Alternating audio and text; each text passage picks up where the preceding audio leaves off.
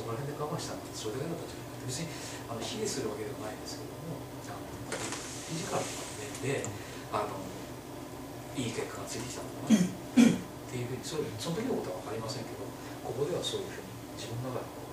割り切りをしましたお前はできるできるできるかもしれない。だけどやるな。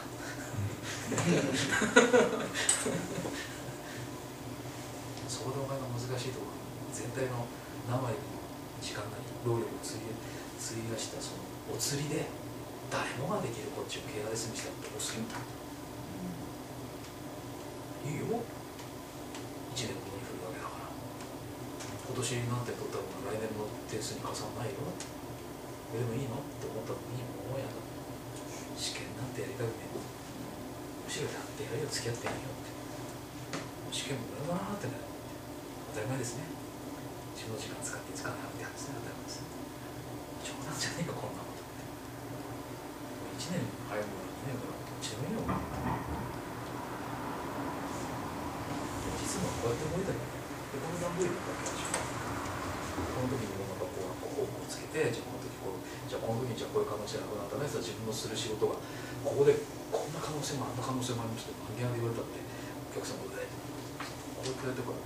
徐々に徐々に可能性しに行こうっていけばそうなんでね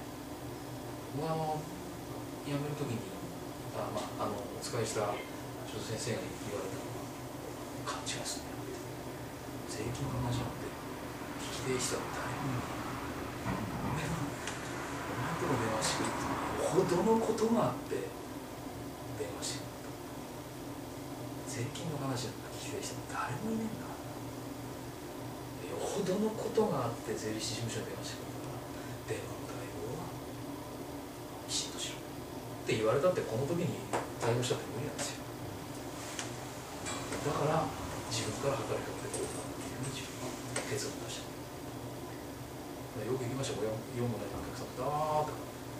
昔そういうオーラル時代もあったんですけどねお茶飲み行きましたお茶飲み行きましたって言いながら僕はちょっとよしっつってこうもうあのやっぱやってるとこうちょっと待ってせっかく来やがったらやろう